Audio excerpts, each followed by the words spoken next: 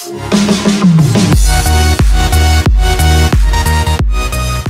guys, my name is Eduardo Perez, the Process Man. Today's topic is how do I even start? So, you've been given an awesome project. Your boss, your manager, or superior of yours said, Hey, Mr. or Mrs., I have an awesome project for you. I need you to make this process X faster. I need you to cut costs this way. I need you to make this more efficient. And this is a super high visibility effort. And I'm so pumped for you. And you ponder to yourself, great. I love this opportunity. Thanks for giving it to me. You think to yourself, how do I even start? I don't have the slightest clue how to even start this. That's okay. I got a good tip for you.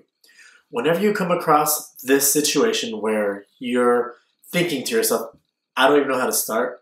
What I suggest for that process improvement effort is start off with a swim lane, a process flow, a process map, whatever you want to call it. Basically, something, a visual depiction of the process from step one to step two to step three, etc.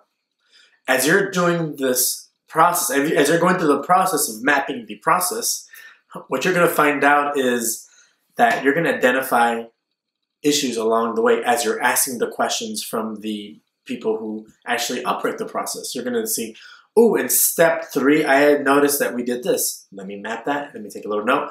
Continue the mapping out of the process from the beginning to the end, and I suggest you define a clearly defined beginning, a clearly defined end, and doing this, you're going to identify some things along the way. I guarantee you, if you do this right, you do ask the right questions, and I love process maps. Me personally, out of all of the process artifacts, swim lane and process maps are my number one favorite.